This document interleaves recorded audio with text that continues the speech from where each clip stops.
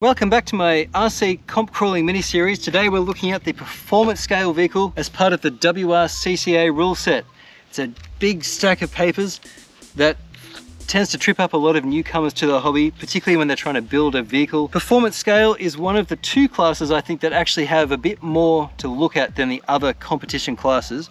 It's a more recently developed class uh, and accordingly we've actually got quite a bit more to look at in the rules. Performance scale in particular has a general section and then it's got wheels and tires, drivetrain and chassis. So performance scale, also known as C2, is designed for vehicles that have been modified for trail rated or competition based performance. These vehicles may not necessarily be street legal in their full size form. So the idea is you started with a real car, perhaps such as something like this, and cut it down, weld it away and develop something that you can take on a trailer to the trailhead and off you go. So to make sure that your C2 vehicle or your uh, P scale or performance scale vehicle meets the specs, here's what you've got to be aware of. Your vehicle should have a full body from the grille to the B-pillar with no cuts or modifications to the grille. However, you can trim wheel arches, which you can see I've done here. This previously went down. And you can also trim headlights. So in this case, I've got a grill or a faux grill here. It would be legal for me to trim to get more clearance. And on this machine, which I'm actually still building right now, for me to have the clearance I want with this body, I would want to cut some of that front away, and that is quite okay. For all these rules, if it doesn't explicitly disallow you from doing it, or if the other rules don't stop you from doing it, then you can do it. In this case, can't cut the grill, can cut the edges, can trim the wheel arches, all okay. If your vehicle has a cab only configuration, which this example does, cab only, it needs to have a frame, barwork or tray, which is what we've got here. This is the old C10 Chevy Ascender body. You're allowed to remove the roof as long as a roll cage or half interior is fitted. The body, including any tray, cage or barwork, should be at least three inches longer than the wheelbase. Wheelbase on this fella is just over 12 inches and so we need to be at least 15 inches long and this body is 17 and a half inches so that is legal. The body should be at least five inches wide for the full length of the passenger cabin. No worries here with what seven ish give or take. You're allowed to section or narrow the body from the a pillar forward or the b pillar back but the cage itself sorry but the uh, cabin itself needs to be kept at its original size. The inner sidewall or the shoulder of the front tyres, measured at the axle centre, should be covered by bodywork when viewed from above at rest. And so, as you can see, we've got the inner tyre wall covered when this is actually on, because I haven't actually finished mounting this yet. Uh, it is covered at rest. Now you need a front bumper that's at least 2.75 inches wide, which we're safe here with our 4 inch wide bumper. And they've got a helpful picture on one of the pages of the, of the comp document that shows you some examples of what's legal and what's not legal as far as uh, the front profile goes. Basically, as long as the bumper covers your two front chassis rails, you're generally fine.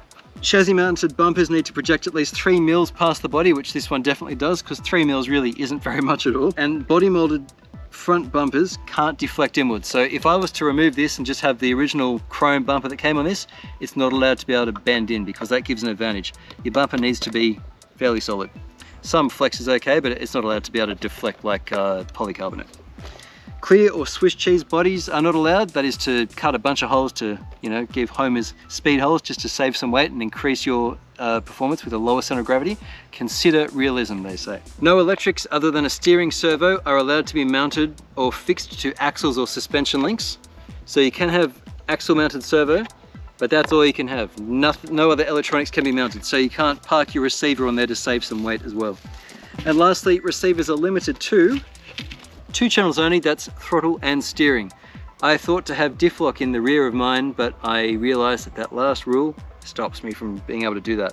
And I talk more in depth about that in this video here.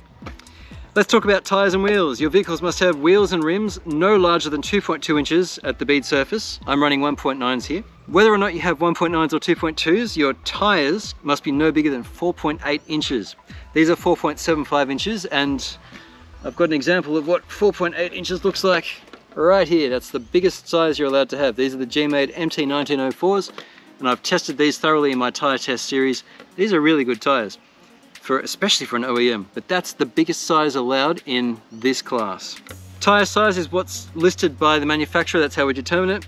And if the specs aren't available, the tire is placed on its side like that and measured at rest uh, without being compressed. So no tricks here. It needs to be 4.8 maximum diameter. You're allowed to uh, sipe, groove, shave or remove lugs from the tire. And removing lugs from the tire looks like this. So there's a tire with lugs removed, tire without lugs removed, same tire. So that's legal for uh, performance scale. So that kind of cutting is allowed, but you can't cut or narrow or reduce the tire. So cut and uh, glue it up again. So you can't do what we've done for the Mini here, which is where you cut up and make your own tire from pieces. Oh, and lastly, production pin tires are not allowed, even if they meet the size rules. So let's just say you could actually get production pin tires in 1.9, they're not allowed in uh, performance scale, even if they meet all the other specifications, because pins are kind of like cheat mode on some of these crawlers. Now let's move on to the drivetrain. Vehicles are limited to front wheel steering only and must be shaft driven only. So here's front wheel steering only and we have drive shafts for this fella. That's how we're turning our axles front and rear. No motor on axle of any kind is allowed and you must have one transmission or transfer case and at least two drive shafts. There's no separate throttle control of the drive shafts or axles and there's no front or rear dig or any kind of axle disconnect. That includes uh, remote lockers unless they're full-time unlocked. Your vehicles can have a C channel, a tub, which is like your uh, Tamiya style, uh, tube, rod, molded plastic or plate chassis, which is what you'd kind of count the carbon fiber flat plates. Shock hoops must be no higher than 2.75 inches or 70 mil above the lowest point of the skid. The upper link mounts on the chassis must be no more than 1.18 inches or 30 mil higher than the lowest point of the skid. The chassis must cover all axle center lines, so it needs to go past the axle center lines. The wheelbase must fit the dimensions of the body being used. This one does, but only just. It's actually, it's it's about right. I really need to mount the body kind of like that, and I'm thinking I might have to cut the back of this off, for example. I'd say I'd be legal like this, but only just. We're kind of starting to uh, stretch the friendship you couldn't get away with uh, mounting it far back or really far forward. It's, it's got to look roughly realistic to the body. I think your most clubs will be uh, reasonable on that, so I'd probably be okay with this, but I wouldn't go any further than that because this is kind of getting into iffy territory. Cut it up a little bit if you need to, move it forward if you need to, just make sure that the wheelbase fits the body and you're good to go. If you're using a cage or tray, what's a wheelbase that fits the vehicle? It's got to be between double this and double that. So this is four and a half inches and this is eight inches. So it's got to be between nine and 16 inches. That's how you define the wheelbase for this body. And the wheelbase for this body is 12 inches and that's between nine and 16 inches. So we're good to go, comfortably so. The battery trays must be mounted to the chassis and the section of the chassis that counts as one continuous length must have the skid plate attached to it directly, which we have in this case. There's your skid in the middle here and it's one full piece in this case. That's performance scale. That was a bit of a hefty one to get through. If you'd like to know more about the other classes in the WRCCA rule set or the couple of the other classes that we've adopted for Melbourne Comp Crawlers, you can find them in the description. I'm doing a little video for each of these so that we can do an introduction for each class type. Throw me a like if this was useful and I will catch you in the next video which will be Tuff Truck. Let's do that.